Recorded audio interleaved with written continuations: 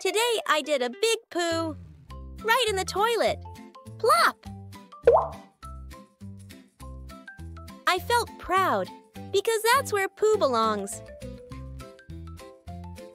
I grabbed some toilet paper. Wipe, wipe, wipe. Front to back. Then I dropped the paper in the bowl, too. Now comes the best part.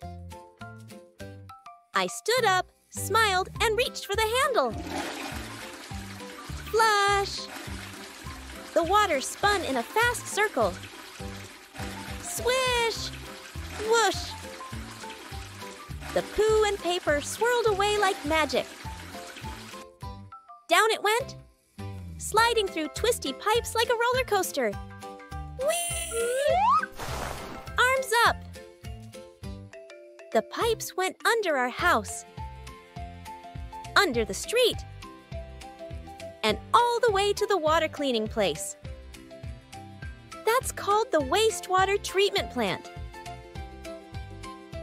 First, big machines caught all the yucky stuff, like wipes, paper, and toys that shouldn't be there.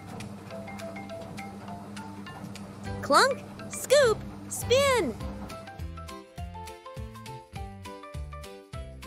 Then the water got swirled and filtered. Tiny helpers, called bacteria, ate the stinkiest bits. Chomp, chomp, chomp. Yum!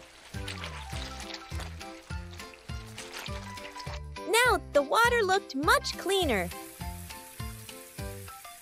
But it still had a little more cleaning to go. It got a nice rinse, like a bath for dirty water. When all the cleaning was done, the clean water flowed back to rivers, lakes, or even the ocean.